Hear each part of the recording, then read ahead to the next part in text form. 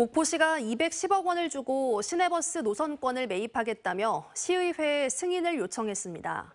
하지만 목포시의회가 시민과 소통이 부족하다며 동의안을 부결시키면서 목포시의 시내버스 인수 과정에 차질이 생겼습니다. 박종호 기자가 취재했습니다. 목포시가 계획했던 시내버스 노선권 매입 금액은 210억 원. 태원 유진여객 시내버스 20개 노선권입니다.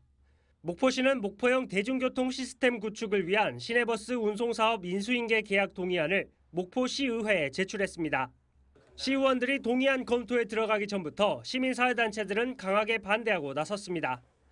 이들은 감정평가액을 유일한 근거로 삼아서는 안 된다는 공론화위원회의 공고와 감정평가 방식으로 노선권 적정가를 결정해 매입하는 방식에 동의하기 어렵다는 시민참여단의 의견을 목포시가 무시했다고 주장했습니다. 노선권 매입 금액을 시민들이 수용 가능한 수준에서 합의할 것을 요구했습니다. 시의회도 너무 급박하게 올리고 계약 내용도 제대로 의원님들도 숙지하지 못하게 이렇게 올려, 올려놓은 상태에다가 불공정한 게 너무 많고 문제점이 너무 많은데 이대로 통과해서는 정말 위험하다라는 생각에서 목포시의회 도시건설위원회는 결국 목포시가 제출한 시내버스 운송사업 인수인계 계약 동의안을 부결시켰습니다.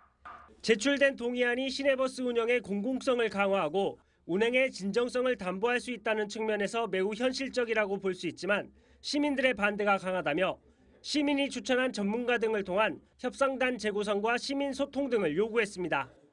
시민 추천 법률 전문가 등 협상단을 재구성하고 의회 및 시민과 충분히 소통하면서 시민 정서에 맞게 안을 다시 제출할 것을 요구하며 정의당 목포시위원회도 재협상을 통해 시민 정서에 부합하는 시내버스 계약 동의안 제출을 목포시에 요구했습니다.